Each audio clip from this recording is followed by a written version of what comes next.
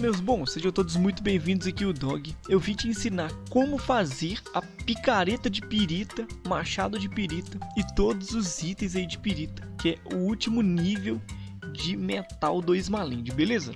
Primeira coisa, você precisa de vir no deserto, tá?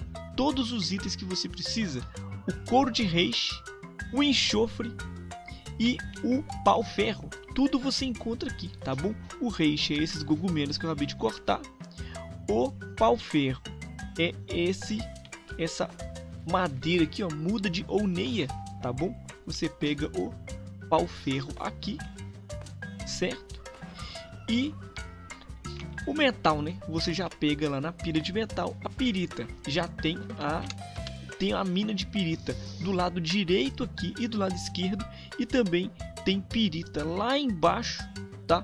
No castelo do Theodric muita pirita mesmo, e tem pirita no subterrâneo também. Beleza, e agora como é que a gente vai fazer? A gente vai na base agora, porque eu também preciso de fazer a minha picareta de pirita. E a pirita você vai encontrar aqui, olha, na mina de pirita, exatamente nesse lugar aqui do mapa, ó, a oeste, tá bom? Aqui, ó, até marquei aqui, ó, aqui nessa, nessa cratera que tem uma mina de pirita. Olha que tanto de pirita que tem aqui. É impressionante. Impressionante. É muita pirita. Muita, muita, muita pirita. Toma cuidado que aqui tem uma guardiã aqui na mina de pirita, que é a tarântula, tá? Vem aqui com escorpião, não vem com bicho que voa, senão você vai perder seu bicho. Aqui, olha, você pode pegar muita pirita, mas muita pirita. Pronto, agora eu já peguei três packs de pirita e vou lá fazer a picareta de pirita. Eu vou deixar o meu escorpião aqui, eu recomendo que você deixe também, tá? Porque como aqui não pode andar com insetos voadores, né? Então é bom que você deixe aqui um inseto que anda, né? No caso do escorpião, que vai te facilitar toda vez que você vier. E é o que eu faço. Se você deixar o seu inseto aqui, olha, não tem erro, tá? Ele não vai dar problema. E nada vai atacar ele aqui também. Agora é só voltar para a base e fazer a picareta de pirita. Bora lá.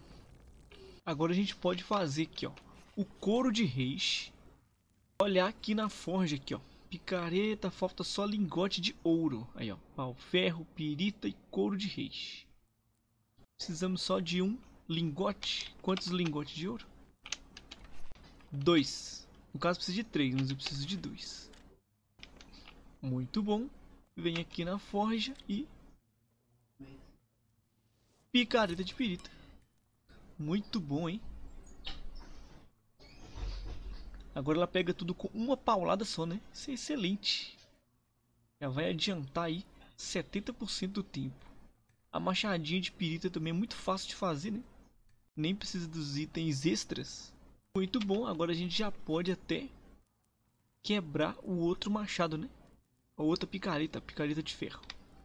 Pra não ficar acumulando coisa. Olha que top que é, mano. Caraca. Muito chique. Vamos quebrar outra picareta para conservar o material dela aqui, ó. Vamos arrumar nossa machadinha também. Vá na parte de início do canal que tem tutorial de tudo que você precisa saber do Ismalite. Tem live todo final de semana aqui no canal, em sexta, sábado e domingo.